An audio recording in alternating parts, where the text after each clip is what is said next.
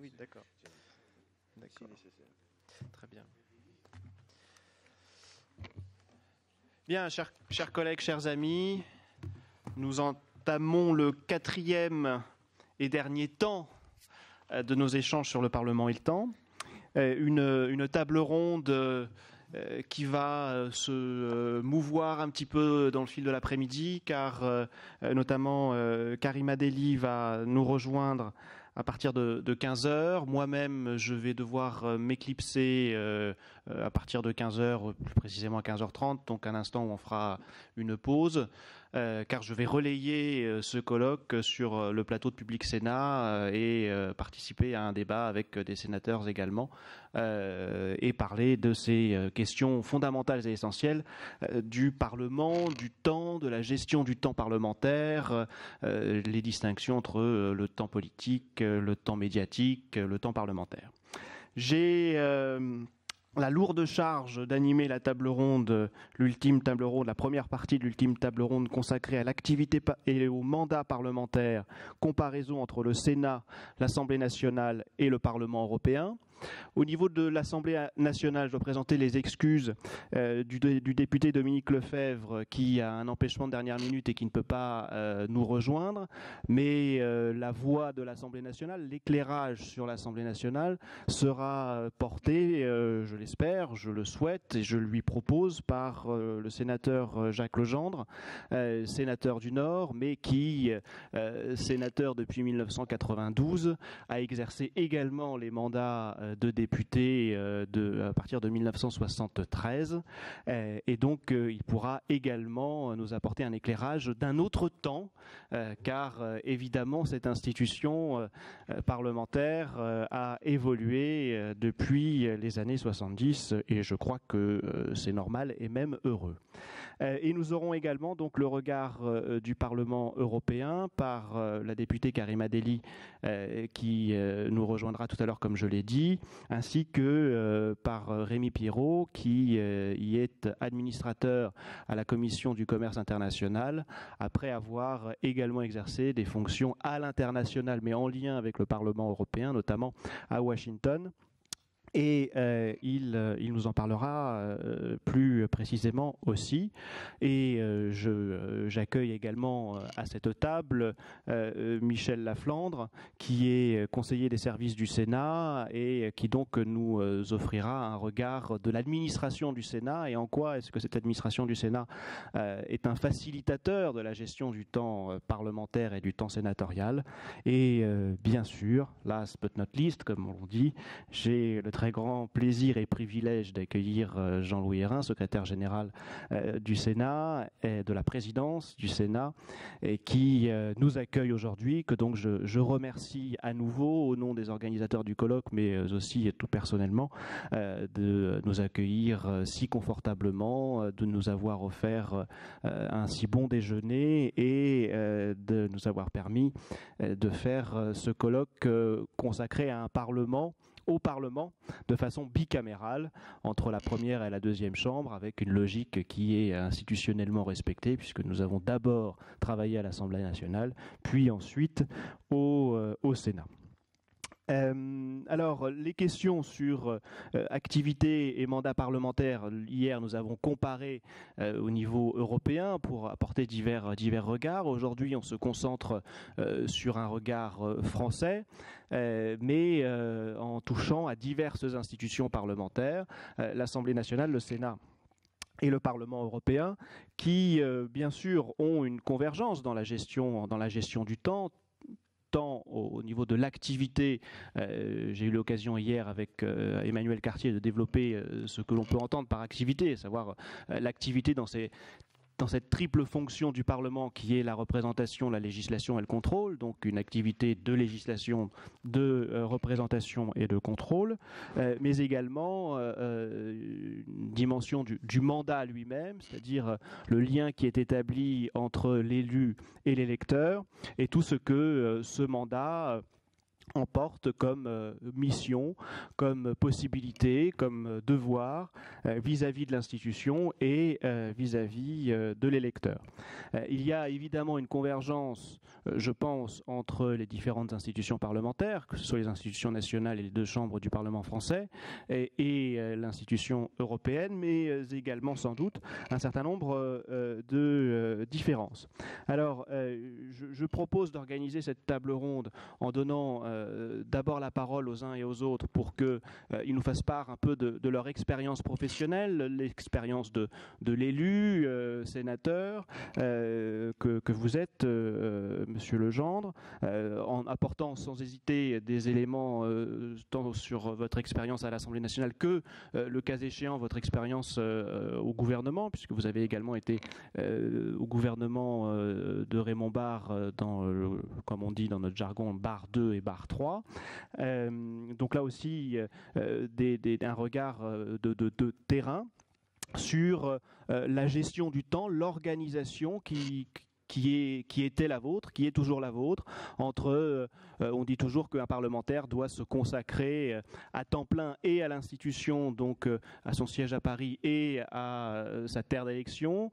comment est-ce que vous organisez, comment est-ce que vous organisez cela? Comment est-ce que est, rythmée votre votre semaine, si si elle l'est, je ne doute pas qu'elle le soit.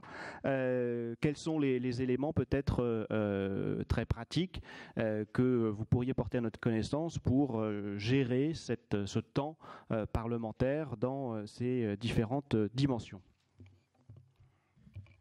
Bien, merci monsieur. Je suis très heureux de pouvoir aujourd'hui participer à votre colloque. Je crois qu'il est important pour le Sénat et pour l'Assemblée nationale d'avoir des rapports suivis avec les juristes, avec tous ceux qui euh, sont euh, des observateurs sagaces de nos activités et qui vont tirer parfois des thèses qui peuvent ensuite peser sur l'évolution des institutions. Donc il vaut mieux s'expliquer avec vous avant. Et puis je dois dire aussi que j'ai parfois eu des petits moments d'agacement ou de colère à votre égard, à l'égard des juristes, parce que j'ai l'impression que nous prenons certains problèmes qui nous concernent et sur lesquels vous réfléchissez d'une manière abstraite. Et c'est pour ça que je voudrais vous féliciter d'avoir voulu mettre au cœur de votre réflexion le temps. Qu'est-ce qu'on entend actuellement euh, remettre en cause? C'est euh, le problème du cumul des mandats. Moi, euh, je pense que le cumul des mandats n'est pas monstrueux en soi. On est connu une époque où les Français ne s'en choquaient pas puisque j'ai été élu euh, il y a pas mal de temps, je dirais qu'à l'époque, le paysage politique français dans les arrondissements, c'était le député, maire, conseiller général. Ça paraissait normal. Et quand on avait pris un des mandats, l'objectif normal, c'était de s'emparer des autres. J'ai été élu en 1973 probablement parce que l'homme que j'affrontais à ce moment-là et qui ne s'attendait pas à être battu et moi je m'attendais pas à être élu, c'est d'ailleurs pour ça qu'on m'avait investi sans problème parce que ça paraissait pas jouable. Mais il était là depuis 1936 sans interruption. Et il était député, maire et conseiller général. Et bien sûr, j'étais un parachuté, j'avais pas de d'enracinement local. Je suis arrivé avec ma petite amie 6. Votre mission, c'est de prendre le mandat de maire, je suis allé de député, je suis me planter devant le magnifique hôtel de ville dans lequel se trouvait euh, barricadé euh, ma future victime. C'était pas absolument, si vous voulez, évident, mais à l'époque, ce paysage paraissait normal.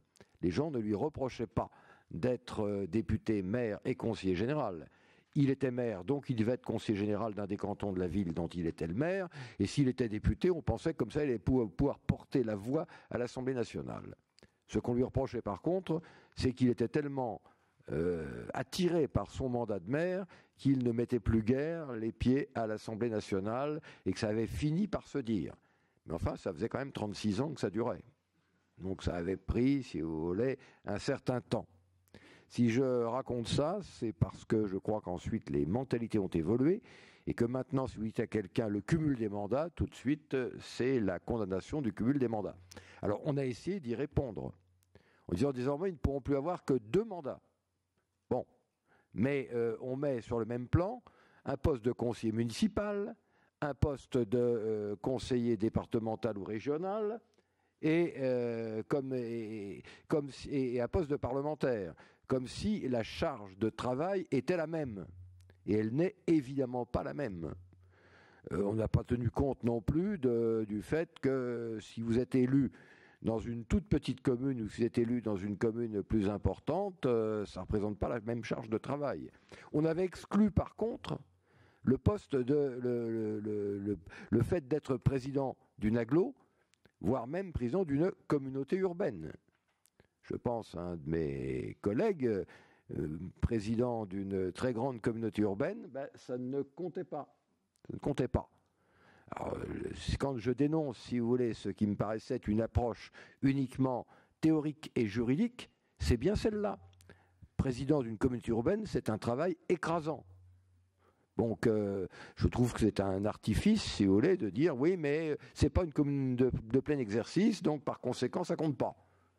Mais non, écoutez, ce qui est euh, à prendre en compte si on veut être efficace, c'est est-ce que la personne a le temps de concilier un mandat national avec un ou plusieurs mandats locaux, combien de temps ça lui prend, sachant que si elle n'a pas vraiment ce temps, elle va devoir déléguer à euh, d'autres élus ou à des membres du euh, personnel administratif.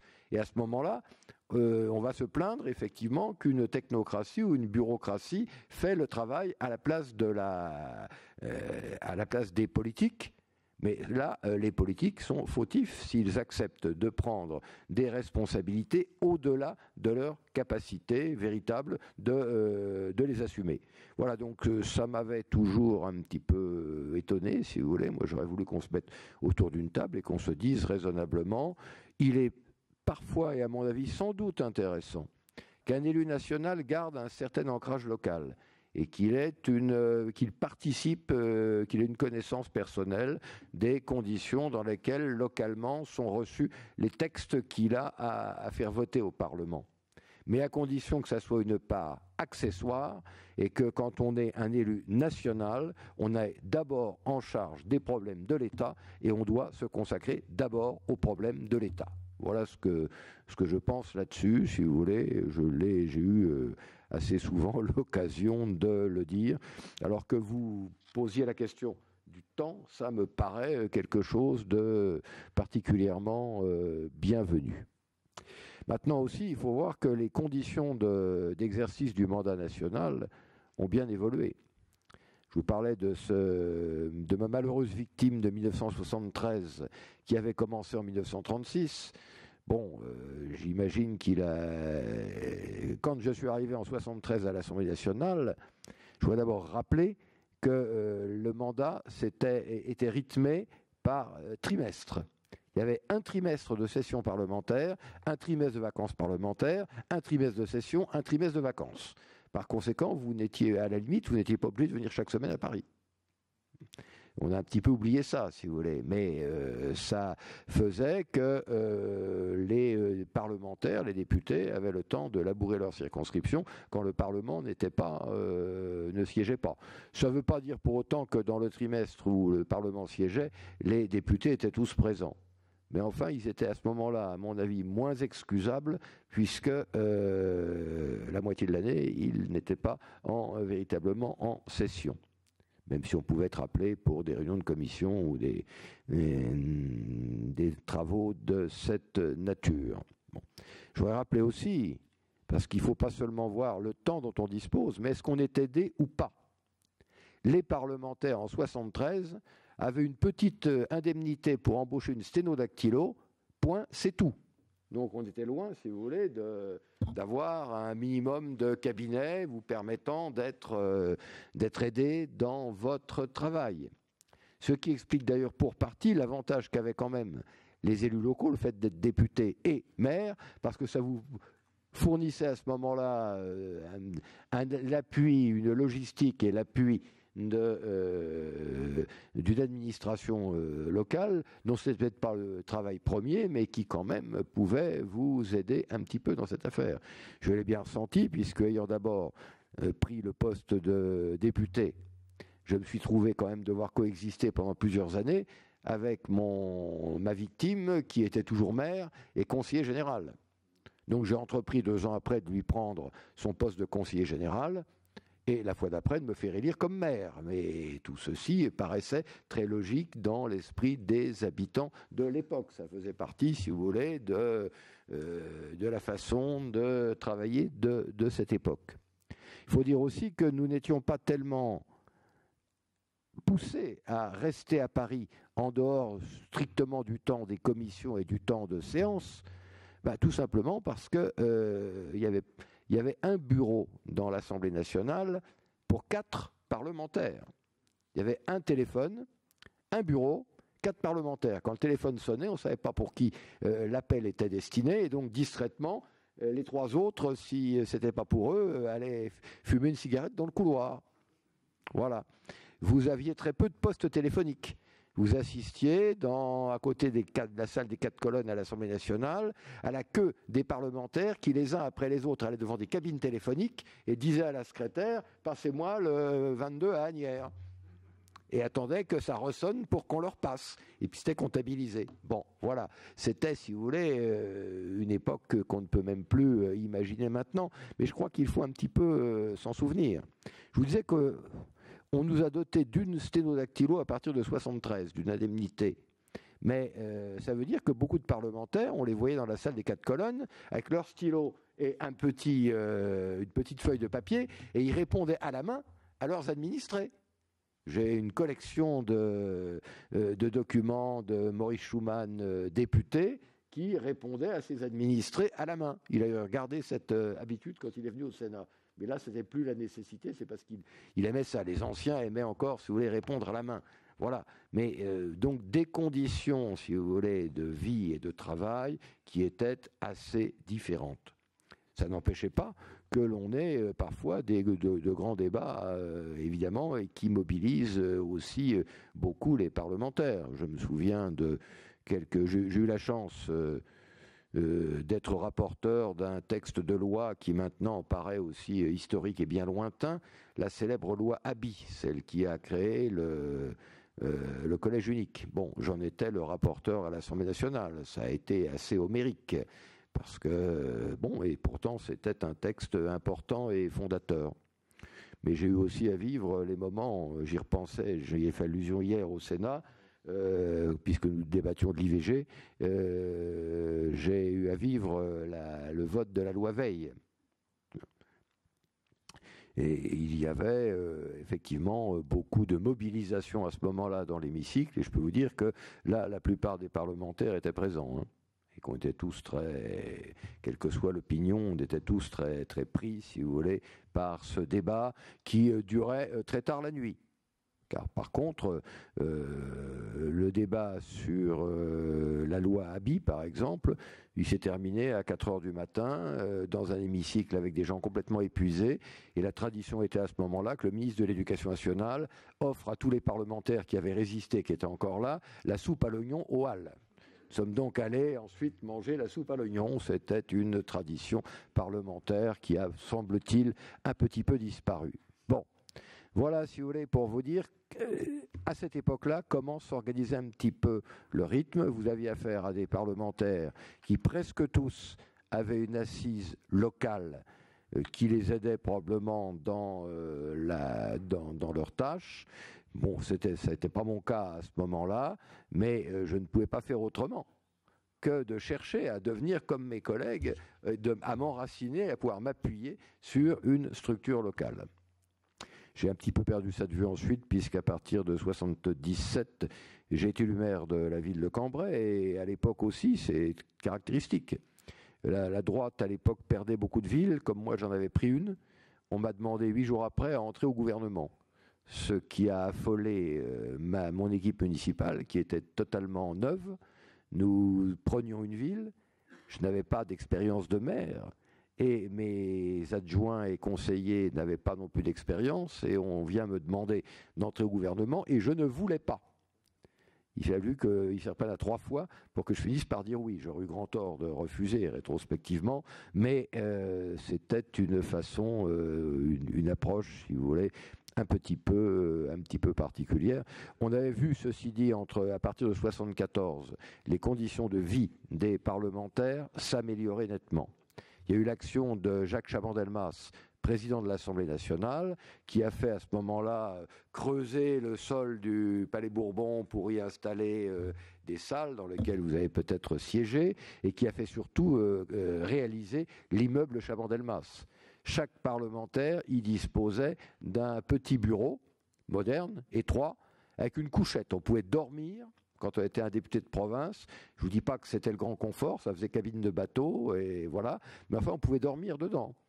Quand euh, j'ai rédigé le rapport sur la loi Abi, je ne sais pas pourquoi, j'avais mis une coquetterie euh, stupide à ne pas vouloir le laisser écrire par un des collaborateurs de l'Assemblée nationale et voir l'écrire moi-même. Je suis resté huit jours dans mon bureau, pratiquement sans en sortir, à, euh, écrire le rapport. Voilà. Donc, depuis, je recours beaucoup plus volontiers à nos excellents administrateurs de l'Assemblée puis du Sénat. Voilà quelques euh, évolutions. Je pense que si vous voulez bien comprendre l'histoire de certains textes, il faut quand même garder à l'esprit euh, la façon d'agir et de vivre des parlementaires de l'époque qui n'était pas tout à fait celle que nous euh, connaissons évidemment maintenant. Bon, si nous en venons maintenant à, une période beaucoup plus récente, moi depuis 92 je suis sénateur et donc, euh, j'ai cherché, en arrivant ici, d'abord à faire en sorte que je puisse exercer pleinement mon mandat de sénateur. Quand j'ai été élu sénateur en 1992, j'étais maire de Cambrai depuis 15 ans et euh, président des maires du Nord. Et j'étais conseiller régional. Je trouvais que euh, ça faisait peut-être beaucoup pour exercer réellement un mandat de parlementaire. J'ai créé à ce moment-là l'intercommunalité dont j'ai gardé la présidence, mais j'ai cédé, euh, j'ai quitté mon fauteuil de maire de Cambrai et euh, j'ai installé euh, mon premier adjoint qui est devenu maire et non pas un faux maire avec son l'ancien maire derrière. J'ai fait en sorte, si vous voulez, que ce soit très clair pour mon équipe municipale qu'ayant quitté le poste de maire, ce n'était pas pour l'exercer d'une manière cachée, si vous voulez pas le calife qui est planqué derrière le, derrière le rideau. Non, euh, je voulais me décharger d'une tâche qui devenait de plus en plus lourde et qui s'est encore alourdie depuis, parce que je crois qu'on ne le dit pas assez, la fonction de maire est devenue beaucoup plus lourde que par le passé. Par contre, il y avait une création qui était à faire, à inventer, c'était l'intercommunalité. Et comme euh, je voulais que ma ville euh, soit clairement conçu comme un des pôles urbains importants du département, j'avais choisi la formule communauté de ville. Nous avons été les premiers en France à prendre cette formule communauté de ville, qui n'était pas simple, euh, puisque les communes qui entraient dans la communauté de ville devaient abandonner à la communauté leurs taxes professionnelles. Hein et que ça, euh, beaucoup de maires étaient un petit peu réticents, ce qui explique que beaucoup d'autres villes moyennes ont euh, préféré être communauté de communes, chacun gardant sa TP, alors que nous, avions, on est bien euh, porté finalement, nous avions abandonné notre TP, nous l'avions transféré à la communauté. Voilà, j'ai gardé ce poste de, de président de ma communauté de ville, devenue communauté d'agglo, pendant 16 ans encore donc 15 ans de maire, puis 16 ans de euh, présidence de comité d'agglo. Elle était devenue à ce moment-là une agglo euh, assez consistante. Maintenant, il y a 49 communes, 75 euh, 000 habitants. voilà, c'est inscrite dans le paysage. Je suis maintenant vice-président de ma communauté euh, d'aglo avec euh, les équipements culturels dans ma délégation, mais évidemment, ce n'est pas ce qui quand même euh, m'étouffe de travail et ça me laisse du temps pour exercer la fonction de sénateur, de parlementaire, dont j'estime qu'il doit toujours être rempli à plein temps. Alors, euh, rempli réellement. Ça veut dire aussi que dans le calendrier, et depuis que je suis au Sénat, j'ai toujours décrété que le mardi, le mercredi et le jeudi, j'étais à Paris et qu'il fallait pas essayer de me voir dans le département du Nord ou de me, vouloir me, demander d'aller assister à telle ou telle manifestation, sauf un cas tout à fait exceptionnel euh, par un déplacement ministériel auquel il faut être ou une chose. Bon, en dehors de ça, je suis toujours à Paris le mardi, le mercredi et le jeudi. C'est le temps du Sénat, le temps du Parlement. Le lundi et le vendredi, je suis dans mon bureau de l'aglo pour regarder les affaires locales où euh, je parcours le département. Bon, et département du Nord, euh, c'est un département un peu atypique. Il y a 2 500 000 habitants, il y a 660 euh, communes et il y a presque 8000 euh, délégués sénatoriaux, électeurs sénatoriaux. Donc ça fait quand même euh, beaucoup de gens à rencontrer, si vous voulez, avec euh, deux ensembles. Il y a le pôle urbain qui est la métropole régionale, et puis il y a les arrondissements périphériques, et qui se sentent parfois un petit peu oubliés. Et là, je pense, Certains de mes amis sont députés dans la métropole, ils n'ont pas besoin que j'aille dans leur circo pour euh, euh, faire du travail parlementaire, ils sont là, ils le font, ils le font bien, mais euh, je pense par contre que le sénateur est souvent très apprécié dans les zones rurales et que donc il est bon de pouvoir se déplacer, aller voir les maires. J'ai pour principe d'aller rendre visite aux maires dans leur commune plus que de leur dire euh, venez à mon bureau, je vous donnerai un rendez-vous et on se verra. Dans un département qui est tout en longueur, comme le département du Nord, 200 km de long quand même, et je ne suis pas au centre de ce département, ça représente des heures et des heures de route, et donc euh, je crois qu'on comprend mieux les choses et les problèmes que les collègues ont à vous euh, raconter quand on va les voir sur place. Donc, garder du temps, ça fait partie du travail parlementaire, si vous voulez, garder du temps pour aller euh, sur le terrain rencontrer euh, les maires. D'autant plus que n'étant plus maire de Cambrai, j'ai euh, quitté à ce moment-là la présidence de l'association des maires. C'est important d'être président d'une association de maires dans un grand département. Je, l'avais quitté et je ne voulais pas pour autant perdre le contact, évidemment, avec euh, tous ces euh, problèmes. En tant que président de l'association des maires, quand on a fait la carte, la première carte des intercommunalités dans le Nord, j'avais parcouru tout le département avec le secrétaire général de la préfecture pour essayer de débattre avec les parlementaires, avec les maires, euh, de la façon dont ils allaient faire les cartes. On leur avait euh, conseillé de commencer, de faire des brouillons, et puis on retouchait après ça avec eux les brouillons pour essayer d'arriver à quelque chose qui soit à peu près euh, convenable, persuader ceux qui voulaient pas y entrer, etc. Alors, je ne suis plus maintenant président de l'association des maires, mais l'association des maires me confie parfois un certain nombre de fonctions et je siège en particulier dans cette importante commission qui est la commission euh, qui euh, organise euh, les structures les structures communales dans le département. je cherche son nom sur le moment, mais enfin, voilà, la commission de coopération intercommunale. Voilà, donc j'ai évidemment veillé à y participer, parce que là, je pense qu'il y a un rapport étroit avec le travail qu'on fait au Sénat et l'application de ce travail sur le terrain. Il y a peut-être d'autres choses aussi que dont on ne parle pas assez. Euh, le Parlement euh, français a des représentants dans toute une série d'organismes internationaux. Et il y est, bon, euh, moi je crois qu'un parlementaire doit être bien enraciné dans son territoire, mais il doit aussi avoir une vue, si vous voulez, sur ce qui se passe euh, ailleurs, ce qui se passe à l'international. Personnellement, je me suis toujours intéressé à la francophonie. Euh, j'ai été membre de la commission de la culture que j'ai présidée ici au Sénat.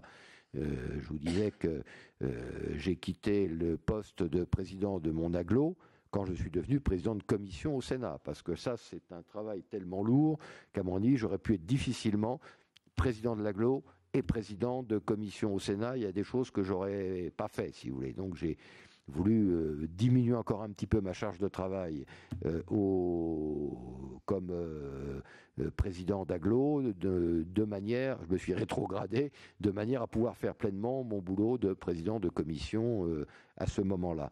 Mais vous avez à côté de ça aussi des fonctions qu'on peut exercer. Moi, j'ai été 15 ans secrétaire général de l'Assemblée parlementaire de la francophonie, ce qui me donnait l'occasion de rencontrer de nombreux euh, représentants des parlements euh, à travers le monde, de, faire des séjours euh, à l'ONU, de bon, d'avoir une certaine vision, si vous voulez, une certaine ouverture sur l'international.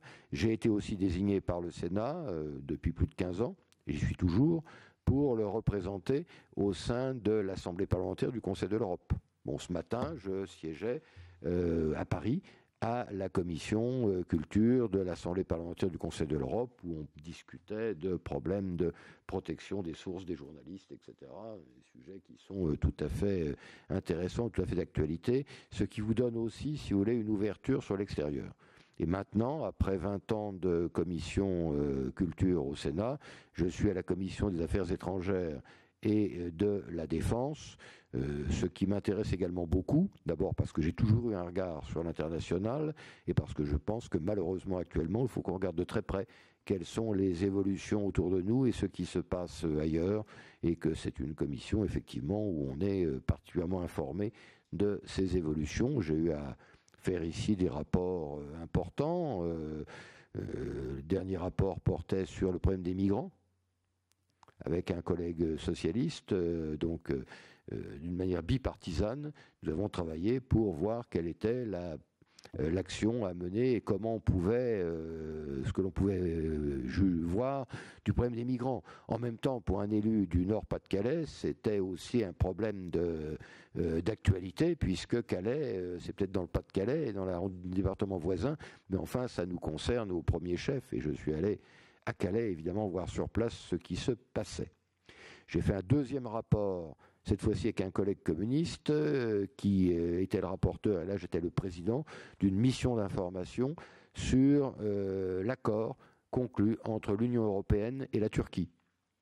Ce qui nous a amené à nous rendre d'ailleurs en Grèce et en Turquie, c'était juste après l'attentat d'Istanbul et juste avant le coup d'État militaire. Donc on avait bien choisi notre moment, on est passé juste par la, la petite porte. Bon, c'était intéressant. L'année d'avant, j'avais été amené à faire un rapport, en me rendant sur place aussi, euh, sur euh, nos rapports et ce que l'on pouvait préparer, si vous voulez, pour un retour de la France en Iran. C'était le moment où on s'apprêtait à signer, où on, voyait que l'accord sur euh, le, renoncement des Iraniens au nucléaire allait se signer, et il apparaissait, et il semblait important d'aller voir sur place donc il faut garder du temps, si vous voulez, pour se rendre euh, dans ces euh, endroits. Je suis aussi, et euh, je m'occupe aussi beaucoup, et depuis longtemps au Sénat, d'un groupe d'amitié parlementaire. J'ai fait mon service militaire comme coopérant en Afrique et depuis j'ai gardé de l'intérêt pour l'Afrique subsaharienne et je préside au Sénat le groupe d'amitié avec l'Afrique de l'Ouest. Mais chaque année, nous nous rendons en Afrique de l'Ouest pour aller faire le point. Cette année, c'était en Guinée pour faire un peu le point sur la situation en Guinée après l'épidémie d'Ebola, etc. Et euh, avant, nous étions allés euh, au Niger et au Mali pour faire le point sur les problèmes de santé et de sécurité dans la zone euh, sahélienne et avec tout ce qui se passe là-bas, d'un côté euh, l'opération Barkhane, et puis aussi au Nigeria, le cancer euh, de Boko Haram. Donc euh, ça permet, si vous voulez, tout ceci, d'avoir des visions un peu précises du monde tel qu'il va. Je pense que c'est aussi dans le rôle d'un parlementaire que de s'intéresser. Je m'intéressais aussi à ce qui se passe en Europe centrale et je crois qu'il est très grave de voir que le canon a nouveau a tonné en Europe et comme je suis euh, vice-président du groupe d'amitié euh, France-Ukraine, je me suis rendu avec un collègue, euh, mon président de groupe d'amitié en Ukraine, quand ça chauffait dans le Donbass. Nous étions à Mariupol sur le bord de la mer d'Azov et nous pouvions entendre les canons russes qui tenaient à l'horizon. C'était quand même intéressant, si vous voulez, de se rendre compte. Et je crois qu'il faut aussi que les parlementaires se donnent la possibilité d'aller, pour certains, ils vont aller dans des entreprises, ils vont aller voir un certain nombre de choses, pour d'autres, ils vont aller fourrer leur nez à l'étranger pour voir également comment les choses se passent. Voilà. Donc euh, ce, devoir, euh, je crois que, euh, que nous l'avons et qu'il y faut évidemment pour tout cela du temps. Alors, je n'ai pas mentionné, mais on aurait pu le faire aussi, les, fonctions de contrôle. Je l'ai fait quand même incidemment quand je vous ai parlé des rapports que j'ai eu à, faire. Le Parlement a évidemment un rôle de, de contrôle de l'action du gouvernement on a différentes méthodes pour le pratiquer. Euh, les questions écrites, les questions, même si elles sont souvent très formelles, les questions orales, orales avec débat ou l'émission euh, d'informations, j'en ai participé à un certain nombre. Euh, au Sénat, là, nous venons de créer une commission une commission d'enquête du Sénat sur les frontières de l'Europe et Schengen, et j'ai demandé à en faire partie, ce qui complétera le travail que j'ai pu faire euh, dans les rapports sur l'Union européenne-Turquie et le rapport sur les migrants. Voilà, pour vous dépeindre un petit peu, si vous voulez, le riche panorama finalement des activités d'un sénateur quand il a dégagé assez de temps pour faire son travail au Parlement.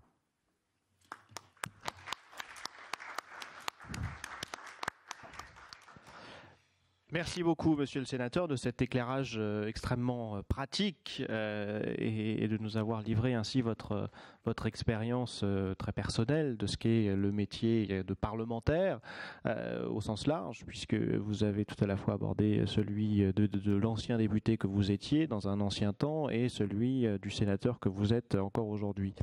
J'ai notamment, moi je, retiens un certain nombre de, choses d'abord, bien sûr, ça c'est pas pour me déplaire que vous retenez que le cumul des mandats n'est pas un problème en soi, même si ce n'est pas dans l'air du temps, effectivement.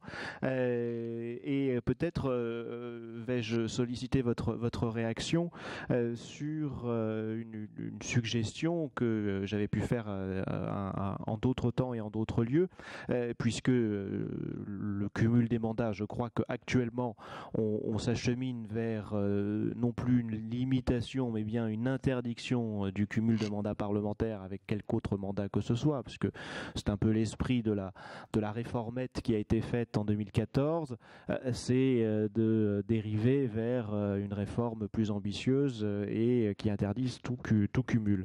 Mais je me suis toujours demandé pourquoi ne pas trouver un équilibre dans cette solution qui consisterait à interdire effectivement le cumul des mandats du mandat de député avec tout autre mandat, tout en l'autorisant euh, au Sénat, euh, de façon limitée évidemment, hein, euh, par exemple le mandat de sénateur et un autre mandat, car les sénateurs, en effet, représentent les collectivités territoriales. Alors on dit souvent qu'ils représentent les populations des collectivités territoriales. Je pense que c'est faux. Je pense qu'ils représentent les collectivités territoriales.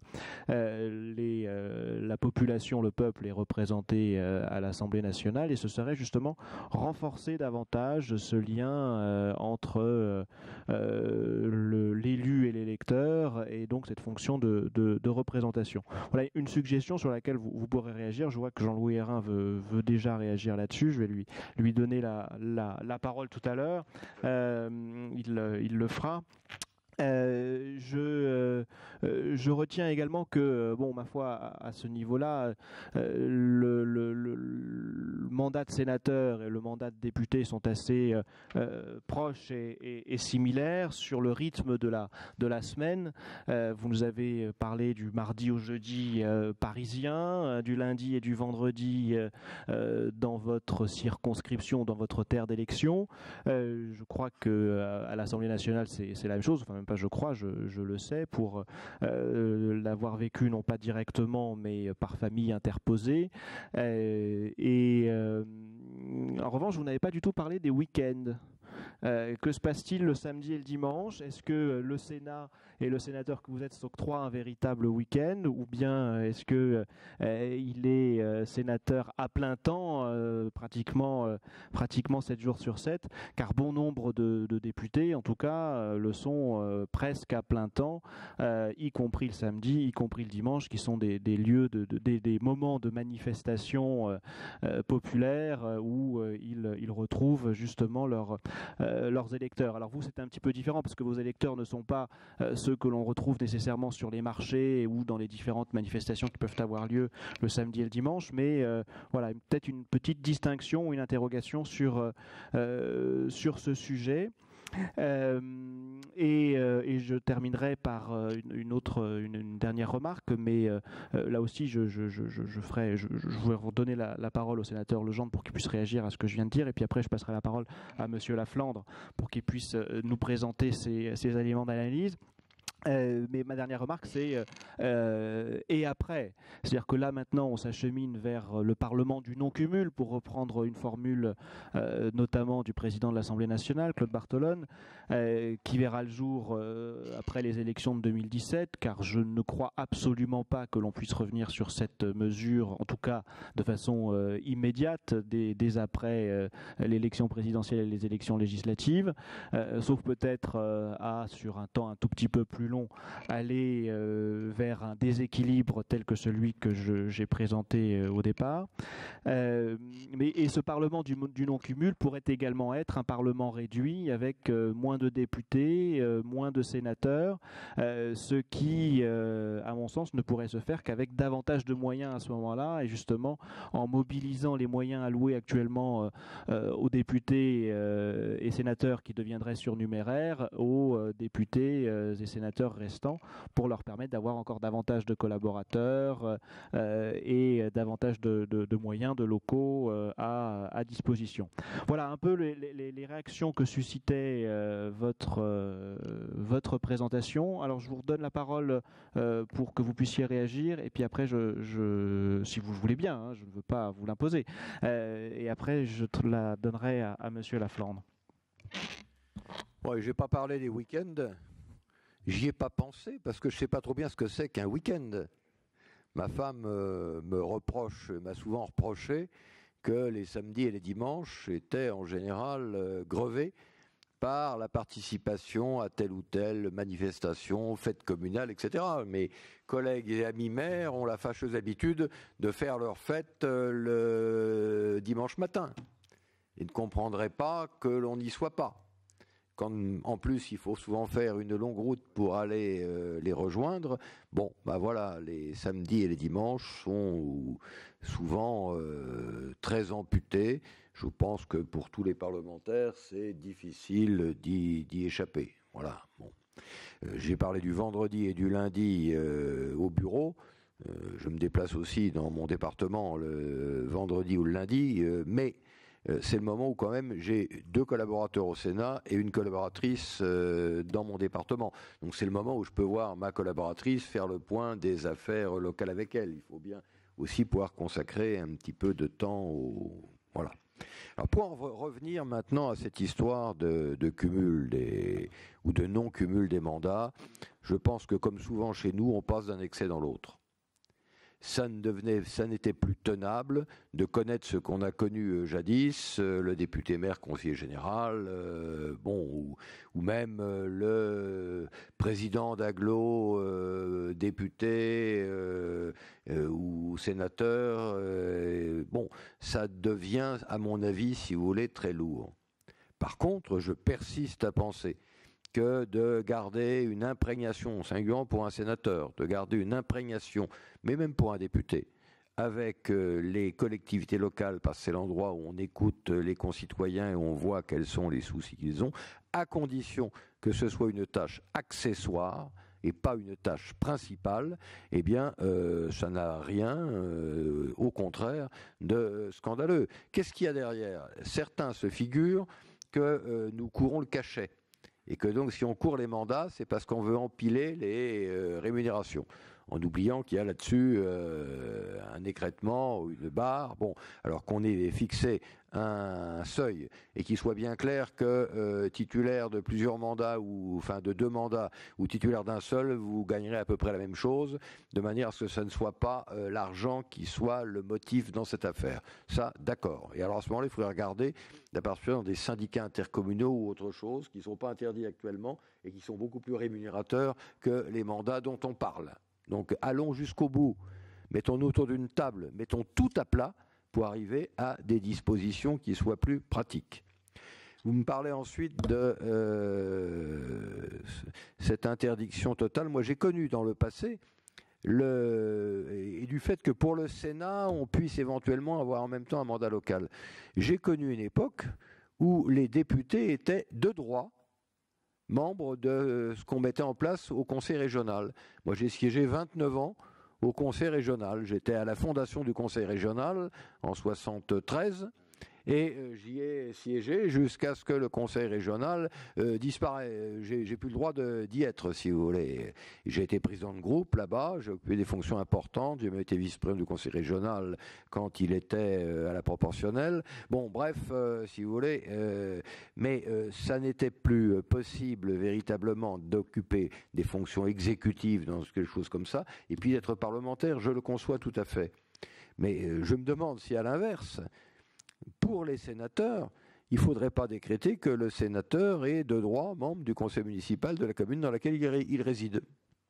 Voilà, comme ça, il, serait conseiller municipal, il n'aurait pas de mandat exécutif, mais euh, il serait quand même un petit peu confronté à la... Et ça ne l'empêcherait pas, à mon avis, fondamentalement, de, euh, de faire son travail de parlementaire. Il ne faut pas oublier non plus qu'on a durci le règlement, par exemple, intérieur du Sénat, que euh, nous avons maintenant des obligations de présence en commission, que nous avons des obligations de présence euh, aux séances de questions d'actualité. Si on n'est pas là, euh, il y a des sanctions, y compris financières, qui peuvent s'abattre. Ça a évité ou ça a calmé certaines mauvaises habitudes qui existaient. Il ne faut pas se cacher non plus. Quand j'étais président de commission, j'avais la moitié de ma commission que je voyais tout à fait régulièrement. J'avais aussi quelques collègues que je ne voyais pratiquement jamais. Donc je découvrais un jour qu'ils étaient membres de la commission. Je ne connaissais pas leur tête. Ça, c'est un peu désagréable. Mais ils étaient en même temps président d'un conseil régional ou un truc comme ça. Bon, euh, donc euh, il fallait, si vous voulez, un petit peu euh, aider à se défaire de mauvaises habitudes. Et il y a plusieurs façons de le faire mais c'est pas de vouloir réglementer strictement, parce que l'autre risque aussi, c'est que euh, si ces fonctions de parlementaire euh, euh, ne procèdent peut-être plus de, la montée en expérience qui a été ou de la, distillation qui amenait à devenir parlementaire. Moi, j'ai fait un peu l'inverse de tout le monde. Été d'abord député, puis maire, puis, euh, puis conseiller général, puis maire. Mais souvent, c'était l'inverse. On commençait par être euh, conseiller général ou maire, puis conseiller général, et puis on devenait euh, député. Bon, s'il y a plus cette distillation, si en plus la rémunération est strictement contingentée, on risque d'avoir, si vous voulez, moins de candidatures pour occuper ces fonctions où ce sera euh, dans un monde assez étroit, celui des assistants parlementaires qui souhaiteront devenir parlementaires, mais qui n'auront pas l'expérience de la vie et la connaissance du terrain que qu'ont ceux qui ont eu des responsabilités de maire et qui sont confrontés aux enquiquinements de leurs concitoyens qui viennent les voir toutes les semaines, monsieur le maire ceci, monsieur le maire cela. Bon, cela, euh, quand j'entends dire que la classe politique est coupée actuellement de l'opinion publique et quand je vois qu'on reçoit toutes les semaines des lettres euh, qu'on reçoit dans nos permanences, parce qu'on en fait des permanences, euh, qu'on, j'en fais moins maintenant, mais quand même, euh, on reçoit de nombreuses demandes de gens qui viennent nous faire part de ce qui ne va pas, de ce qui les chagrine. Alors voilà, je je crois qu'on on est passé d'un extrême à l'autre et qu'il faudra peut-être faire preuve tout simplement d'un peu de sens pratique. Je ne peux que pleinement et entièrement euh, souscrire à, votre analyse. Euh, et euh, bref, j'ai absolument, absolument rien à ajouter à ce niveau-là, parce que je suis vous prêcher un convaincu. certainement, sommes-nous des cas presque exceptionnel encore dans, dans, cette salle, parce que je suis pas sûr que tout le monde souscrive à cette position. Mais en tout cas, moi, je, je vous rejoins. Oui, et, je n'ai de cesse de le dire. Nous avons déjà longuement parlé du, cumul des mandats dans le cadre de, ce colloque. je, je vais donner la, la parole à, à Monsieur Laflandre.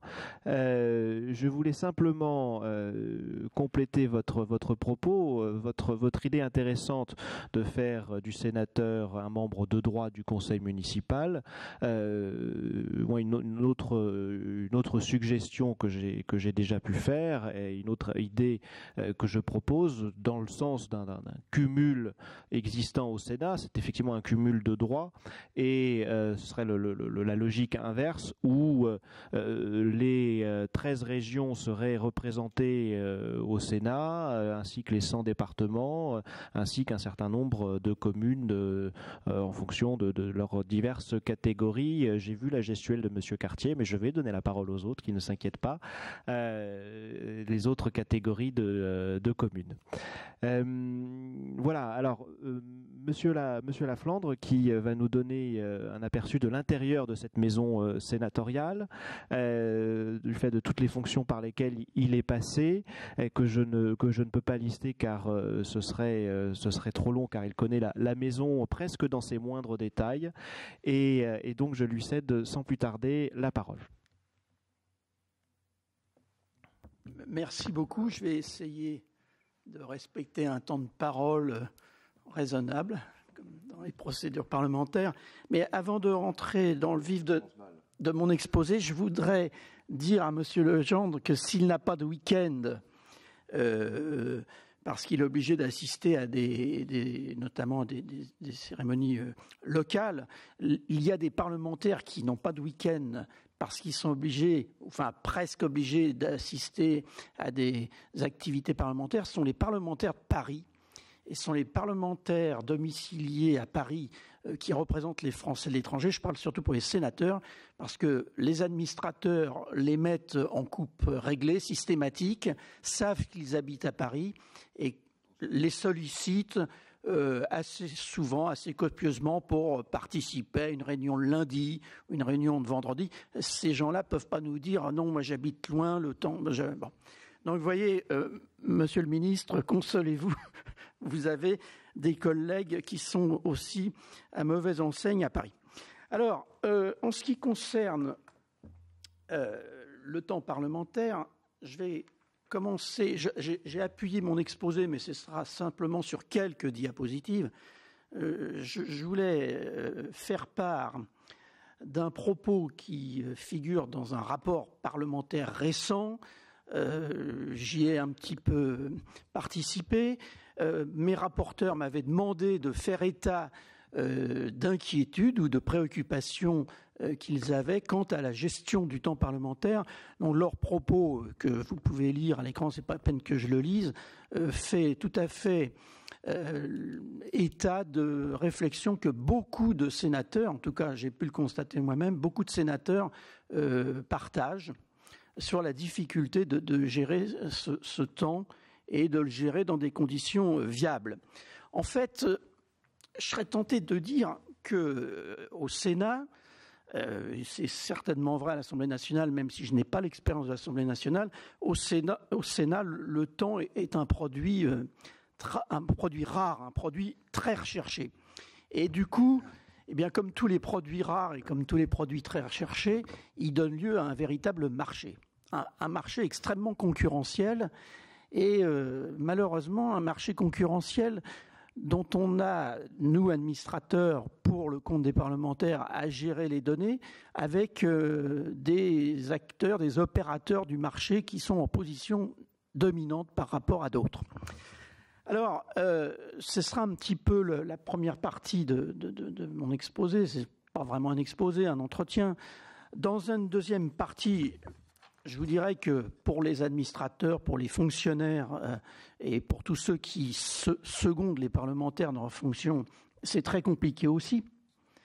Il y a une machinerie, en, une machinerie compliquée et euh, me permettrait le jeu de mots, une, machinerie qui est très chronophage, ce qui est un paradoxe pour gérer le temps.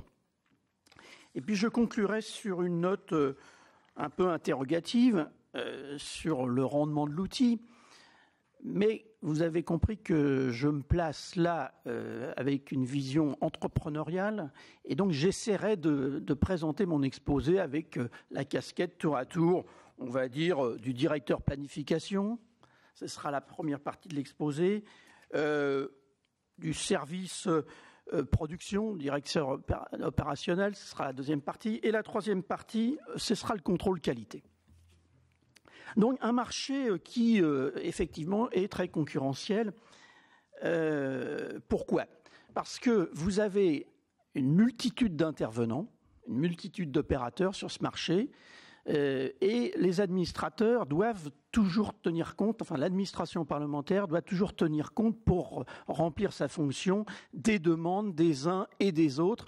On est obligé de proposer aux parlementaires finalement euh, d'arbitrer en permanence entre des demandes qui sont souvent inconciliables ou difficilement conciliables. C'est un peu ce qu'a voulu dire mes rapporteurs euh, qui disent, dans le cadre d'une semaine de travail qui n'est pas extensible, donc là on est sur un marché fermé, eh bien, vous avez euh, des euh, intervenants qui, euh, eux aussi, ont leurs contraintes d'emploi du temps et il faut arriver à trouver la conciliation entre tout le monde. Alors, il y a évidemment on va dire en premier lieu la contrainte de l'ordre du jour parlementaire de la séance.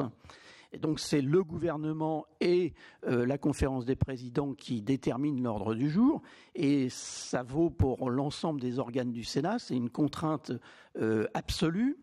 Vous avez euh, évidemment le temps des commissions, vous avez les commissions, et les commissions, comme vient de rappeler Monsieur euh, Legendre, exigent désormais une, présence, un temps de présence minimum, à peine de sanction, à peine de retenue. bon. Voilà. Administrativement, pour chaque secrétaire général ce n'est pas une sanction, c'est une retenue qu'accepte le parlementaire en devenant Sénat. Voilà. Ce n'est pas une sanction. Le, président ne peut pas sanctionner un parlementaire. Voilà. D'accord. Ah, c'est vrai. Hein, Alors, ensuite, vous avez, euh, Monsieur Legendre en a parlé également, l'international. L'international est compliqué à gérer parce que le temps de l'international n'est pas toujours concilié et pas toujours conciliable avec le temps euh, des assemblées. Par exemple, le cas typique, c'est la visite euh, d'un parlementaire étranger, d'un parlementaire important que le groupe d'amitié veut recevoir. C'est exactement ce qui est en train de se passer en ce moment. Euh, un de mes parlementaires reçoit, et il m'avait demandé de l'assister, reçoit la vice-présidente d'un parlement étranger. ben, vous voyez, on peut, j'ai été obligé de lui dire non, et lui-même a été obligé de dire non à d'autres réunions pour recevoir cette parlementaire parce qu'elle est de passage à Paris pendant un temps limité. Alors, vous avez également les sessions des, assemblées parlementaires internationales, Monsieur Legendre en a parlé, qui sont des contraintes externes sur lesquelles on n'a aucune prise et il est très difficile parfois euh, de trouver, euh, de dégager du temps dans l'agenda parlementaire. Et puis, euh, vous avez également, alors c'est peut-être la pire des concurrences, c'est la concurrence entre tous les organes, parce que les créneaux sont limités, et dans les créneaux qui sont relativement ouverts, eh bien évidemment, tout le monde s'engouffre. Alors vous avez les groupes de travail, vous avez les groupes d'amitié, vous avez les réunions rapporteurs, vous avez les auditions, enfin les missions d'information, euh, les commissions d'enquête, tous ces organes finalement euh, euh, où on retrouve bah, il n'y a, pas un nombre infini de sénateurs, donc on retrouve souvent les entre euh, ces organes. Alors, elle n'est pas toujours euh, apparente, mais euh, entre responsables des secrétariats, par exemple, eh ben, on est tout le temps en train de s'appeler pour dire tu peux pas décaler ta réunion, voilà, j'ai moi une importante contrainte à ce moment-là. Alors, je vous l'ai dit, les opérateurs ne sont pas tous dans la même position. Évidemment, euh, l'ordre du jour qui lui-même suit, alors je, vous ai projeté le tableau d'organisation de, la session, l'emporte surtout. c'est celui de l'an dernier, non? Ah oui, oui, oui, non, évidemment. les, les, c'est un problème d'arbitrage. Mais enfin, euh, pour l'instant, euh, Rebus Sixtantibus, vous voyez qu'il y a quand même euh, un temps bien occupé, avec des, des créneaux très très contraints. Donc ça, c'est très important.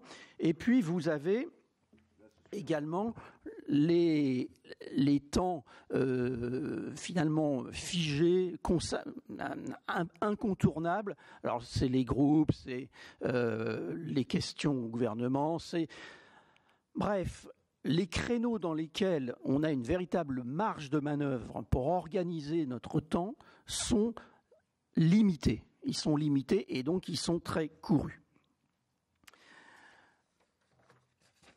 Et pour arriver à gérer ces temps dans des, créneaux très très restreints, enfin restreints, peut-être pas très restreints, mais restreints, eh bien, on doit euh, vraiment euh, se battre. Bon, c'est un combat euh, quand même pas à mort, mais c'est un combat. Et heureusement, on a des outils. Alors, je dis heureusement, on a des outils, mais je me suis rendu compte à l'expérience que maniement de ces outils est lui-même de plus en plus lourd, est lui-même contraignant, chronophage et de plus en plus lourd. Alors, je vois mes collègues qui, qui sourient, ils devinent ce dont je vais parler. Euh, bon, l'ordre du jour nous donne un premier cadre, si vous préférez. Mais si vous regardez bien euh, dans l'ordre du jour, vous voyez qu'il y a une ligne qui euh, prévoit des modifications de l'ordre du jour. Alors, quand vous voulez planifier un travail parlementaire, eh bien, idéalement, il ne faudrait pas que l'ordre du jour soit modifié parce que ça désorganise évidemment euh, largement. Vous êtes amené parfois, et ça c'est une donnée euh, objective, vous êtes euh, obligé parfois de détricoter des calendriers, par exemple je pense à des calendriers d'audition, des calendriers d'audition de personnalités extérieures qui elles-mêmes ont leurs contraintes, vous les avez planifiés à une période donnée, vous leur dites que pour des raisons euh, tout à fait euh, légitimes d'ordre du jour ou des raisons, euh, on, bon, on, leur propose de décaler leur calendrier. C'est pas toujours facile et c'est parfois si compliqué que finalement on arrive dans certaines situations, à ne pas entendre des personnes parce que dans les délais qui nous étaient impartis, eh ben, on n'a pas pu trouver le créneau. Moi, ça m'est arrivé, pas très souvent. Les gens sont en général, euh, euh, ils font en sorte de se rendre disponibles, mais ce que je veux dire, c'est que c'est pour la gestion du temps, euh, c'est compliqué. Alors les, les, sénateurs nous le disent, entre leur propre calendrier et les calendriers des personnes, ils nous disent, écoutez, essayez de faire pour le mieux mais faire pour le mieux, c'est pas toujours facile. Alors, la plupart du temps, on y arrive, mais euh, avec une gymnastique qui elle-même est très chronophage. Détricoter une après-midi d'audition pour la réorganiser 15 jours plus tard, ça prend un temps qui est pas deux fois supérieur, mais qui est trois fois supérieur à celui qu'on a mis euh, pour organiser euh, un premier calendrier. Alors, cet instrument que vous voyez sur l'écran, on ne le voit pas souvent. Euh, c'est un instrument, je pense, qui ne doit pas figurer sur le site euh, sénat.fr, mais qui figure sur l'intranet. C'est ce qu'on appelle l'agenda. Alors, c'est la terreur de tous les responsables de commission, de tous les chefs de secrétariat. Oui, ils sont payés pour ça, mais il n'empêche que euh, c'est une terreur. Alors, de quoi s'agit-il? De quoi s'agit-il? Il s'agit que pour toutes les semaines, alors malheureusement c'est un, outil déroulant, donc j'ai pas pu faire des saisies d'écran, j'ai fait une saisie d'écran un peu au hasard.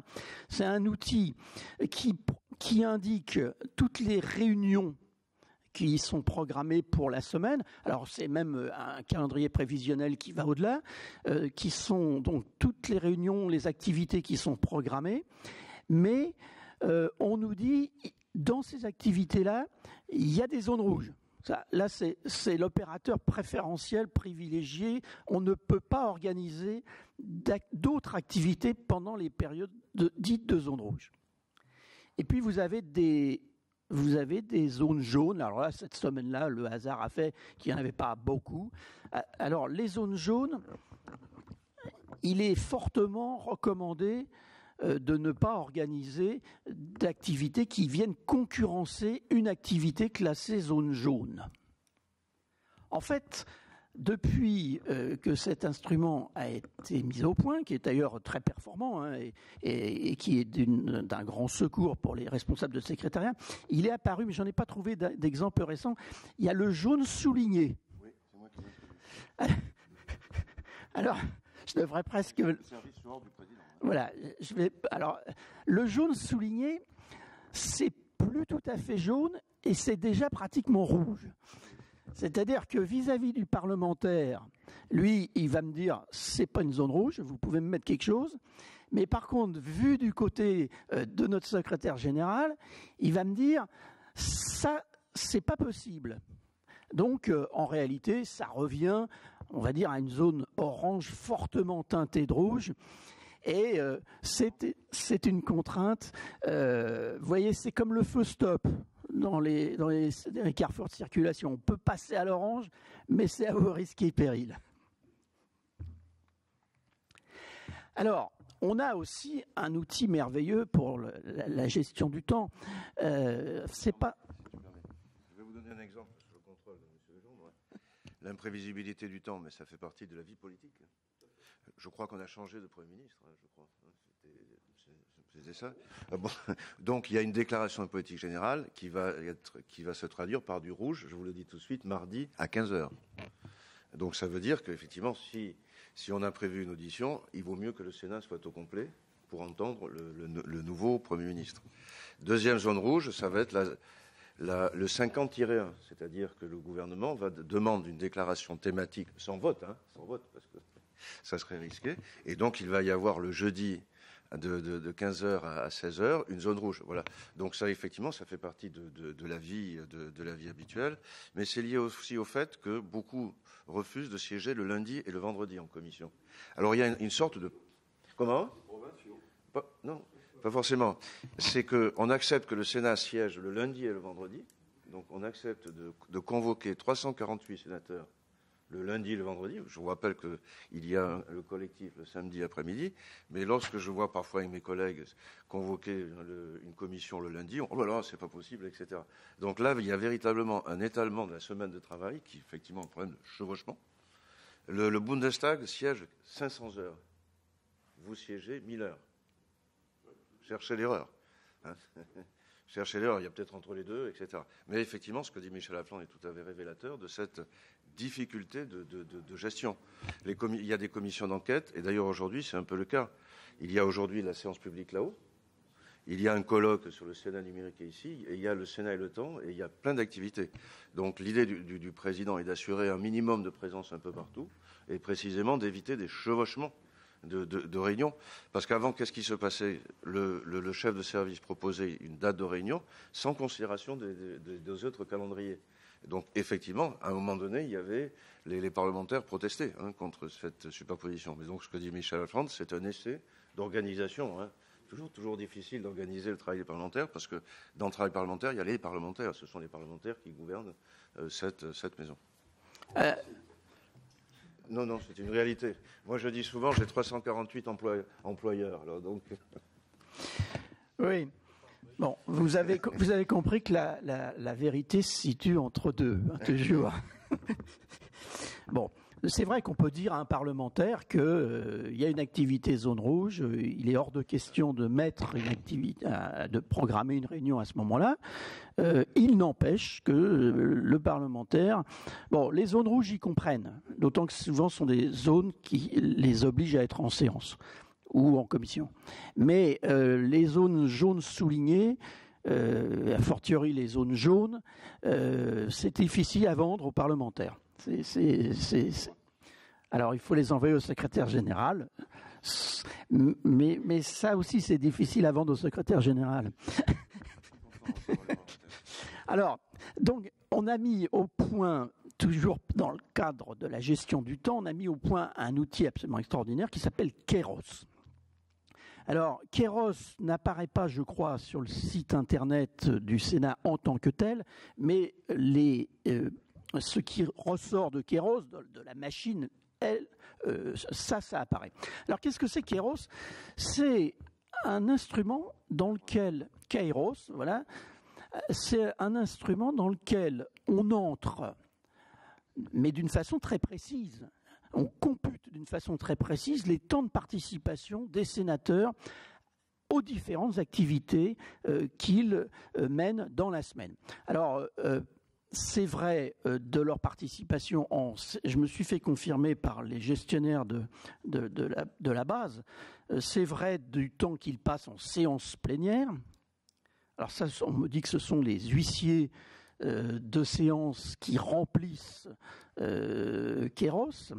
C'est vrai du travail en commission, en délégation, ce sont les responsables des secrétariats et les fonctionnaires des secrétariats qui, après chaque réunion, euh, aussi vite que possible la réunion rentre. Alors c'est des données qui sont minutées. Hein. C'est pas euh, il a participé, il n'a pas participé. Non, il a participé de telle heure à telle heure.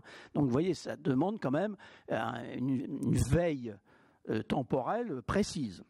C'est vrai des groupes d'amitié maintenant, et euh, j'avoue humblement que, en tant que secrétaire de groupe d'amitié, il m'est arrivé d'oublier de marquer euh, la présence ou la participation de tel ou tel à une réunion. Et là, je me faisais rappeler euh, à l'ordre, très, très normalement, par les responsables de, la direction en charge des groupes d'amitié. Bon, voilà.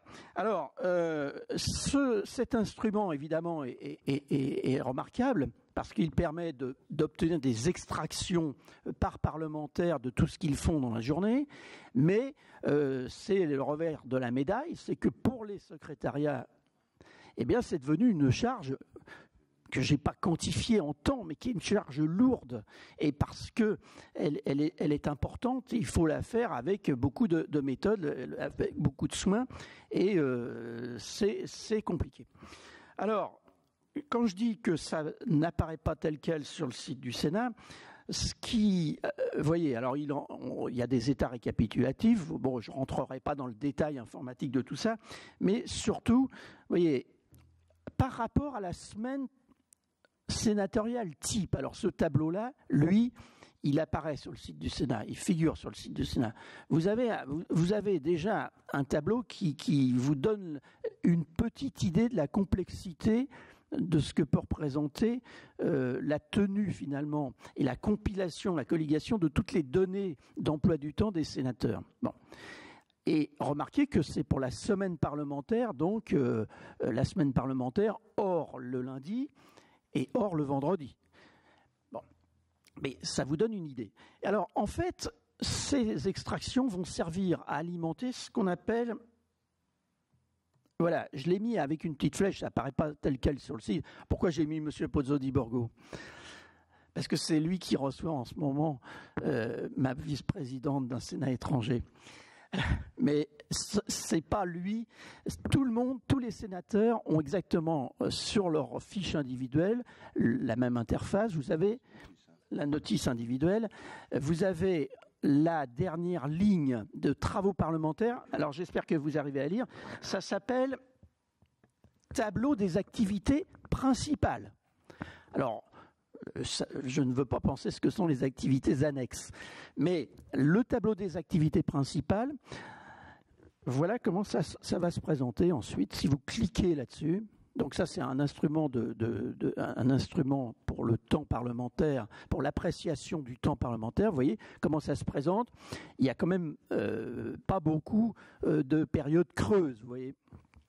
Alors, sachant que ce tableau maintenant est accessible en ligne pour tous les parlementaires. C'est un instrument, si vous préférez, de suivi euh, de l'activité parlementaire et c'est également accessible, là je parle sous le contrôle de mon secrétaire général, en, en espérant que ce seront les bons termes, c'est également accessible en open data, c'est-à-dire que ça peut être en données ouvertes. Voilà. C'est alors sous différents sous différents formats, sous différents formats, de telle façon à ce que euh, ça puisse donner lieu à une exploitation informatique, informatisée, euh, euh, qui, nous, échappe, hein, puisqu'il s'agit d'open data. Mais ça vous donne une idée derrière ça derrière tout cet instrument, eh ben, il y, a, des gens euh, qui travaillent. Et, quand je vous ai dit que c'était un outil compliqué, c'est parce que c'est pas si simple que ça. Et quand je vous ai dit que c'est un outil relativement chronophage, eh ben parce que euh, ça mobilise la gestion, le suivi de la gestion du temps mobilise du temps. Alors. Ah, mais je vais dire non la prochaine fois. Hein. Non, parce qu'il faut présenter les choses de manière positive. C'est un instrument de transparence inédit que, les parlementaires ont accepté, c'est-à-dire de publier leur emploi du temps. Ça n'existe pas à l'Assemblée nationale. Euh, c'est le tableau des activités principales. Pourquoi? Parce que nous avons euh, face à nous nos sénateurs.com, que, que M. Gendre connaît bien, fait par des, universitaires, des étudiants, qui notent au, petit bonheur la chance les, les présences. Et les parlementaires ont protesté contre ça, et surtout les sénateurs parce que le Sénat, je le dis souvent, est plus souvent critiqué que l'Assemblée nationale. Et nous avons essayé, le, président du Sénat y a tenu, de faire un tableau des activités principales. Pourquoi? Parce qu'il ne s'agit pas de fliquer, entre guillemets, les parlementaires, uniquement les, activités repérables. Pour justement contrer cet instrument déloyal, puisque, par exemple, pour noter les présences en séance, il faut, euh, intervenir ou euh, prononcer 40 mots. Mais si vous ne prononcez pas 40 mots, vous êtes considéré comme absent sur nos sénateurs.com. Donc il a fallu rétablir la vérité. Alors je ne sais pas quel sera le, devenir de ce tableau, mais c'est quand même un instrument. Les fonctionnaires sont chargés de le mettre à jour, c'est normal, ils sont payés pour ça. C'est des activités officielles, mais depuis longtemps, c'est une idée personnelle du président Larcher. Depuis 2009, il m'a donné l'instruction, comme directeur de la séance, de noter les présences pour rectifier des idées. Quand on dit qu'il y a de l'absentéisme au Sénat, c'est faux je, le dis. Il y en a peut-être plus à l'Assemblée qu'au Sénat, je ne veux pas comparer, mais en tout cas, nous, nous, pouvons le, mesurer. Et quand le président Larcher dit qu'il y a 90% de sénateurs présents en question d'actualité, qui dit mieux? Quand il dit qu'il y a 87% de, de sénateurs présents en commission de la culture, et ça répond à votre préoccupation, qui dit mieux. Et donc il y a cet instrument de transparence. Pourquoi? Parce que le Sénat, le Sénat a été plus critiqué que l'Assemblée. On ne sait pas pourquoi, mais français. Et donc le, bureau a, voulu faire cet instrument de transparence. Et lorsqu'on disait, j'étais étonné que l'intervenant de ce matin ne connaissait pas ce, tableau des activités, des activités principales. Alors peut-être, pour vivre heureux, vivons cachés. Mais en tout cas, il y a cet instrument de transparence. Chaque parlementaire a accepté bon gré, mal gré, je ne sais pas, hein, parce que chaque parlementaire peut réagir comme il veut, cet instrument de transparence. Et sur la notice individuelle, vous avez le tableau des activités principales, qui est véritablement un instrument de, transparence et qui, permet aux élections sénatoriales peut-être de dire qu'effectivement, euh, mon sénateur a beaucoup travaillé, uniquement sur les trois jours. Et uniquement sur les trois jours, parce que pour le reste, on considère que le sénateur doit être sur le terrain et ça, c'est tout à fait autre chose. Voilà. Voilà, mais euh, Alors, monsieur, monsieur Laflande, pardonnez-moi, euh, je vais vous rendre la parole tout de suite, mais euh, en séance publique, notamment à l'Assemblée nationale, le président est visé sur sa chaise et dès qu'il doit s'en aller, il est contraint d'ordonner une suspension de séance, ce qui n'est pas le cas ici. Donc, j'ai juste invité Emmanuel Cartier à venir prendre ma relève parce que moi, il faut que je file. Et pendant ce temps-là, vous, vous, pouvez continuer. Pardonnez-moi de cette discourtoisie, mais j'ai cette contrainte. On ne lève pas la séance quand on change de vice-président. Ah non, non, non, non. Voilà. alors, euh, euh, Jean-Louis Hérin a anticipé ma, conclusion. Euh, donc, je le remercie. Oui, je le remercie. voilà. Donc, outil compliqué, outil chronophage. Et je voulais donc, dans une dernière partie, euh, évaluer un petit peu, faire du contrôle qualité. Euh, et je voulais euh, conclure sur cet aspect des choses.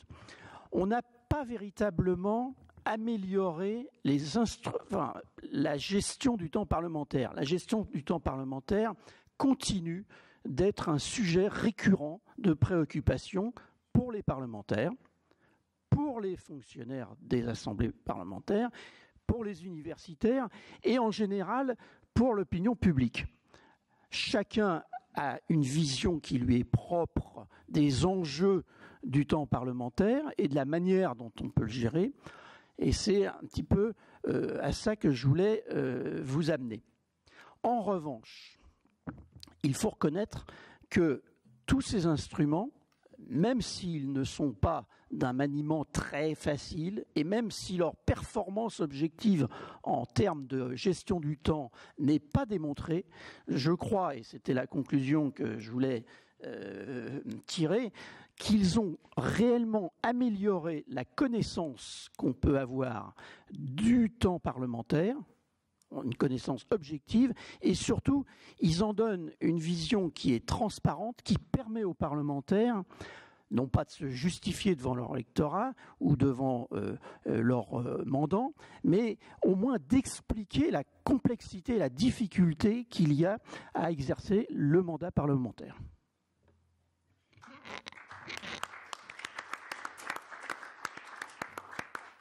Alors merci beaucoup. Moi, je ne vais pas trop prendre la parole. Je vais passer tout de suite la parole à Monsieur Chambrot, qui est administrateur au, au Parlement européen, qui va sans doute rebondir sur quelques thématiques. J'en ai suggéré quelques-unes, mais je pense qu'il avait dû en, noter. Euh, et puis peut-être qu'après, on pourra euh, réagir de manière assez interactive euh, par rapport à ça.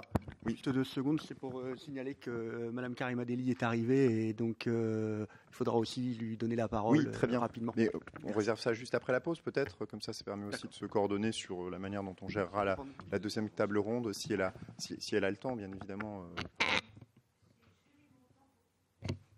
Je vous remercie infiniment. Alors. Eh bien, merci beaucoup. Euh, j'aimerais déjà remercier les, organisateurs, euh, Monsieur Tout le Monde et Monsieur Cartier, de m'avoir invité euh, aujourd'hui. Je suis très honoré de, m'adresser à ce colloque, notamment après Monsieur Legendre, parlementaire et ministre.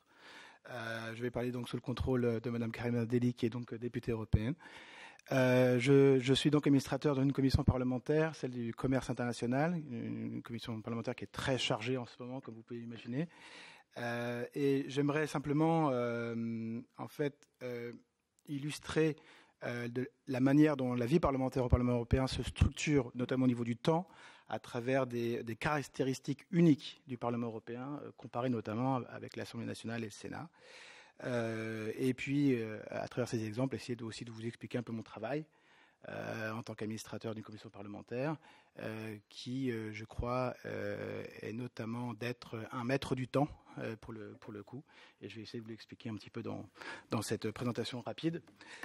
déjà, pour vous donner un petit peu d'éléments, parce qu'on a tendance à oublier ce que c'est le Parlement européen exactement, 751 députés européens représentant 500 millions euh, de citoyens euh, venant de 28 États membres, peut-être bientôt 27, euh, et élus au suffrage universel direct tous les cinq ans.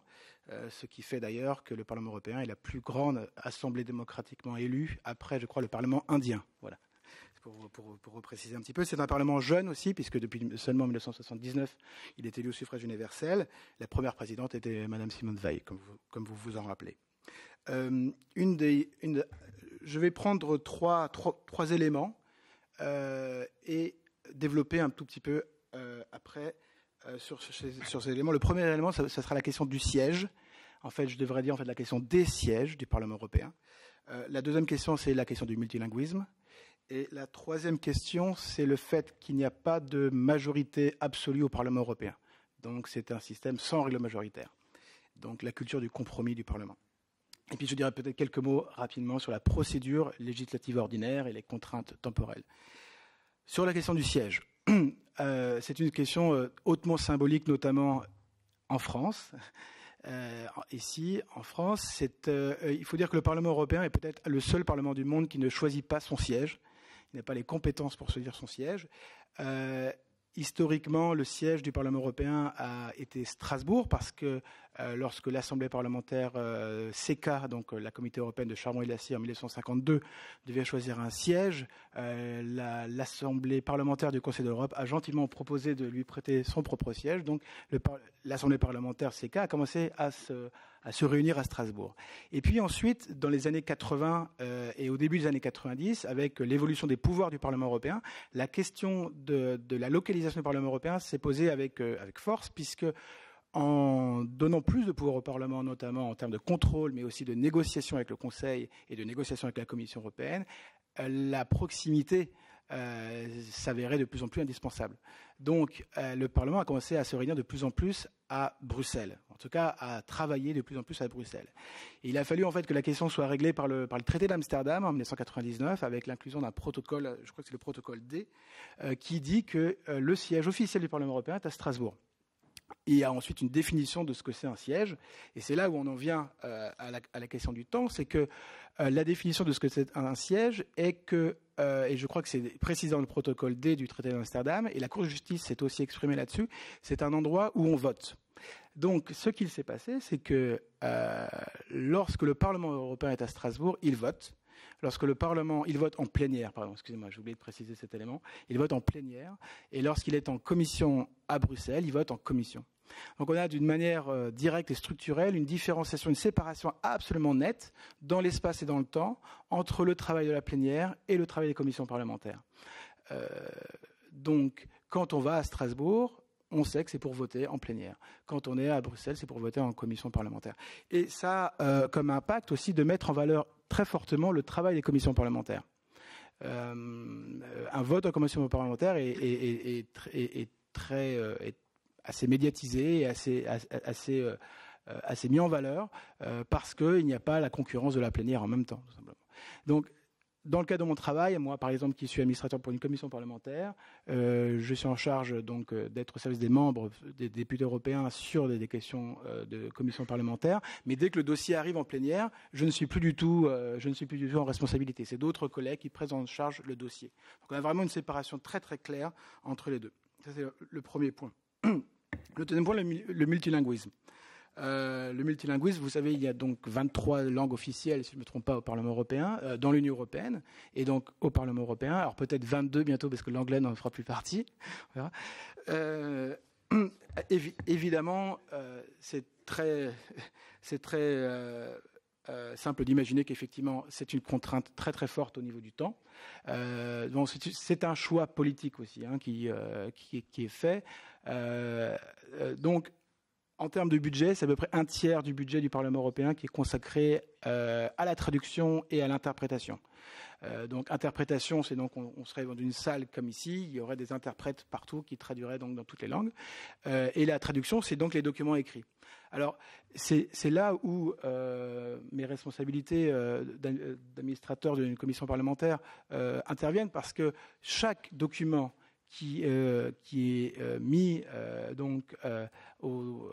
sur la table d'une commission parlementaire, que ce soit les projets de rapport, que ce soit les amendements, que ce soit le rapport lui-même, doit être traduit dans toutes les langues de l'Union européenne.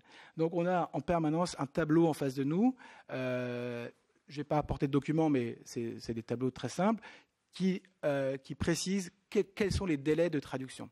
Donc on a forcément par, euh, définition euh, un travail qui doit s'étaler dans le temps parce qu'on doit prévoir les délais de traduction.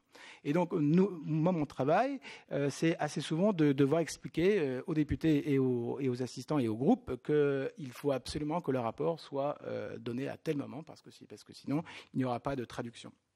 Il y a aussi des, des, règles de procédure dans le Parlement qui précisent que si un document n'est pas traduit en toutes les langues, il peut être invalidé lors du travail en commission. Donc ça, c'est quelque chose de très très important.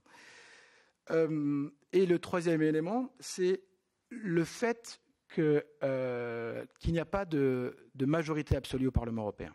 Alors ça, c'est une question très importante, on pourra en parler pendant des heures, mais ça a aussi une influence très importante sur la manière dont les travaux du Parlement se planifient. Euh, et là, peut-être que je peux aussi utiliser l'expérience que j'ai eue à Washington, puisque j'étais effectivement au bureau de liaison du Parlement européen avec le Congrès américain entre 2010 et 2012, et j'ai pu comparer euh, la manière dont, euh, euh, dont, se structure le travail parlementaire au Congrès américain, où il y a deux partis, donc, enfin deux groupes ou deux partis, et donc par définition, un a évidemment la majorité absolue.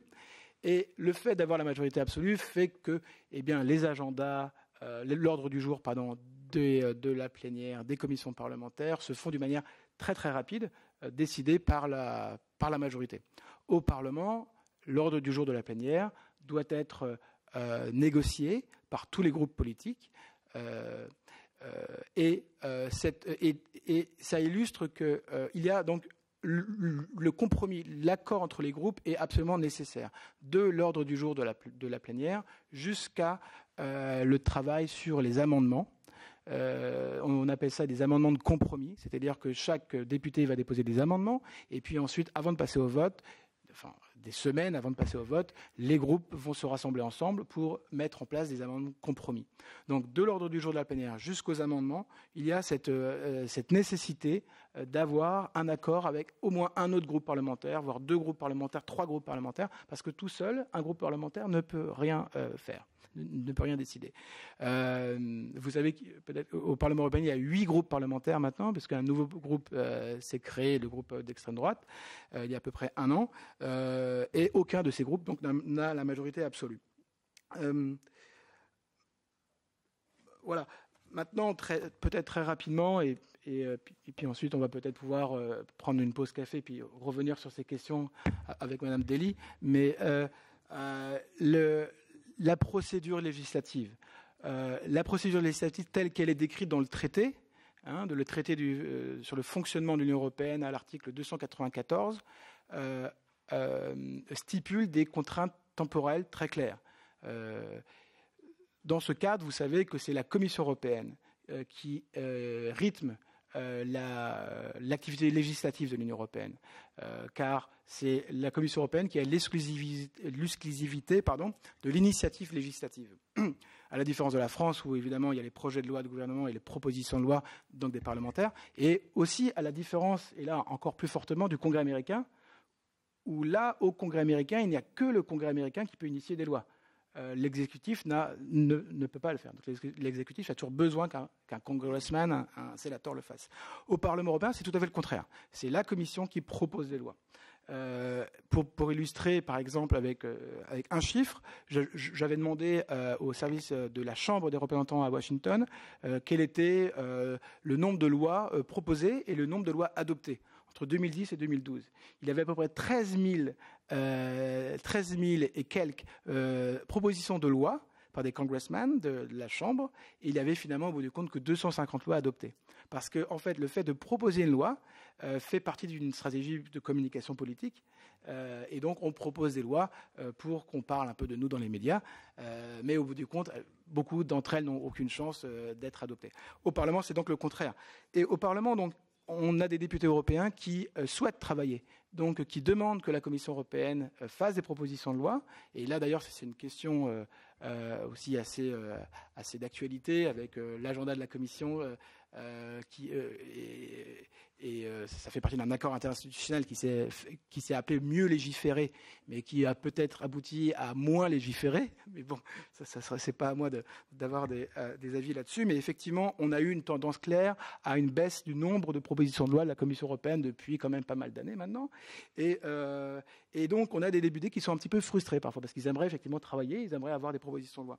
Alors, je ne vais pas vraiment aller dans la technique de la procédure législative ordinaire que vous pouvez trouver dans le traité, mais en gros, euh, et ça c'est aussi assez intéressant en fait, c'est que euh, le traité donc prévoit une procédure, première lecture, deuxième lecture, troisième lecture, avec au niveau de la deuxième lecture des contraintes temporelles très précises, puisque les deux, co-législateurs, Parlement et Conseil, euh, qui d'ailleurs, et ça on, parfois on l'oublie un peu, ont les exacts mêmes pouvoirs.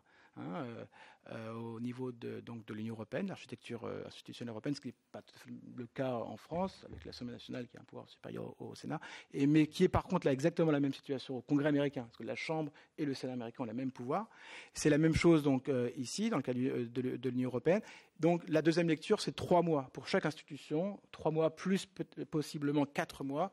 Et la troisième lecture, c'est six semaines, possiblement huit semaines. Mais ce qui est assez intéressant, c'est que c'est une pratique qui n'est jamais, qui n'est plus utilisée aujourd'hui. Aujourd'hui, euh, j'ai 99% des dossiers, enfin tous les dossiers que, j'ai eus, sont, ne sont plus gérés dans ce, dans ce cadre de première, deuxième, troisième lecture, mais dans ce qu'on appelle les trilogues informels, euh, qui, eux, n'apparaissent pas dans le traité. Et euh, alors, dans le cadre des trilogues informels, donc qui rassemblent, comme son nom l'indique, les trois euh, institutions, donc hein, Parlement, des délégations finalement du Parlement, délégation du Conseil et de la Commission, se rassemblent ensemble. Euh, là, il y a moins de, de contraintes temporelles. je dirais que le défaut ici, c'est qu'il y a peut-être un défaut de transparence, puisque finalement, il y a des discussions très importantes qui sont prises dans un cadre informel, donc sans documents sur les sites Internet, alors que la procédure ordinaire prévoit de mettre les différents documents sur Internet.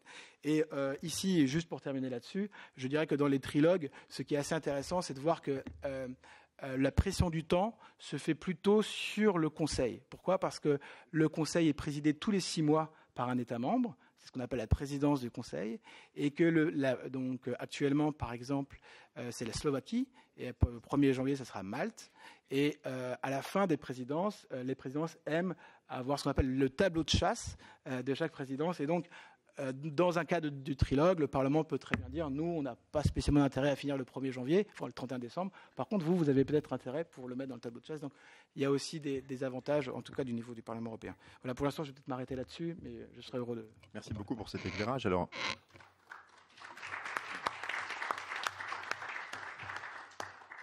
Je trouve quand même que les trilogues sont, assez controversés compte tenu de la place que prend l'administration dans justement dans le travail euh, qui, est, opéré au sein de cette, euh, institution un peu para, euh, para conventionnelle, on va dire.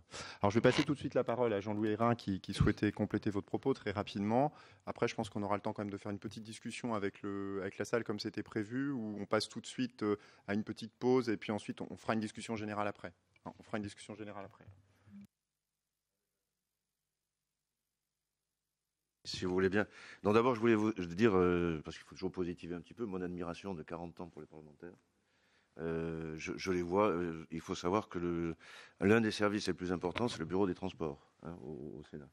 C'est-à-dire que vous partagez entre plusieurs niveaux, hein, niveau territorial, et effectivement, vous courez hein, mardi, mercredi, jeudi au Sénat.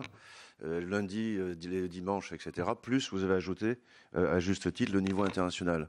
On sous-estime la doctrine, l'importance du, Parlement dans le domaine international. J'avais travaillé à la IPLF avant que vous...